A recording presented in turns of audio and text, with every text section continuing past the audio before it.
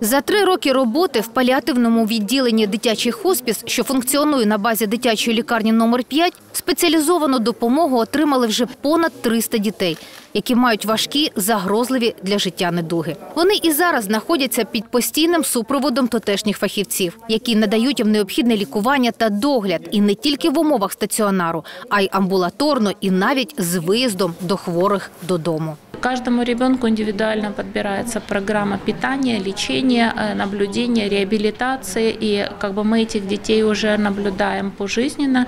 Э, Не только э, останавливаемся на 18 годах. В паллиативной помощи сейчас можно продлевать это э, наблюдение, поэтому мы наблюдаем детей уже и старше 18 лет. Постійна та злагоджена робота таких закладів, зазначив виконуючий обов'язки харківського міського голови Ігор Терехов, сьогодні на часі. Ознайомившись із роботою паліативного відділення, Ігор Терехов подякував медперсоналу за працю та пообіцяв, що міська влада і надалі робитиме все для їх підтримки. Зокрема, депутати фракції блокер «Несе успішний Харків, в тому числі і Ігор Терехов, виступили з ініціативою підвищити заробітну плату медпрацівникам паліативних відділень в дитячій лікарні номер 5 та лікарні номер 17 за рахунок щомісячних перерахувань депутатських благодійних коштів. Так, медперсонал щомісяця отримає надбавки в розмірі від тисячі до 2700 гривень. Медицинский персонал вкладывает душу, когда работает с такими сложными детьми.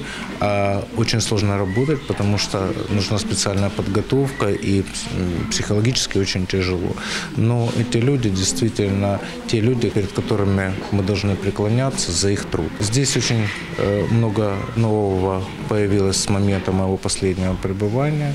Я помню, когда мы строили, когда начинали строить только э, этот хоспис, э, и здесь ничего не было, здесь был пустырь, здесь было разрушенное здание. Вы сегодня сами убедились, что уже сделано за эти годы. Очень сложно здесь работать, но э, тот уют и тот комфорт, который здесь создан, он поражает. Поэтому я всем благодарен. На потребности всегда море. Нужно покупать и э, для выездных бригад сегодня, и переносные УЗИ-аппараты, и многое другое оборудование. Конечно, это надо делать. И это надо делать за счет городского бюджета, и привлекать, конечно, благотворителей, и привлекать деньги НСЗУ. Еще вы видели, открывается новое отделение психиатрии. Для нас это крайне важно. И могу вам сказать, что очень хорошо, что э, этот детский хоспис развивается. Роботу дитячого хоспісного відділення, ось такого формату, де надається спеціалізована медико-соціальна допомога, гідно оцінюють і столичні фахівці. Зазначають, харківський досвід заслуговує поширення по всій країні. На сьогоднішній день це найкращий варіант, який я, який я бачу. Я вважаю, що ви рухаєтесь е, дуже добре. Я з е, Харковом вже десяток років е, в цій паліативній справі. Дуже добре, що тут в кінці були, е, коли виконувач обов'язки мера зробив таке оголошення, де депутати віддали свої там надбавки, надбавки нашим працівникам, які працюють в хосписі. На рівні держави ще не вдалося зробити максимум фінансування. А ці кроки, які тут появляються, вони дуже важливі. Це приклад буде. Ми його будемо розповсюджувати для всієї України. Натомість робота в цьому напрямку не зупинятиметься і надалі, запевнив Ігор Терехов.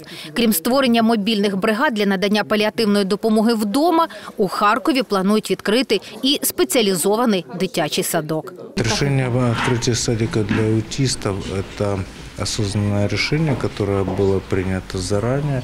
Я сегодня еще раз убедился, что мы на правильном пути.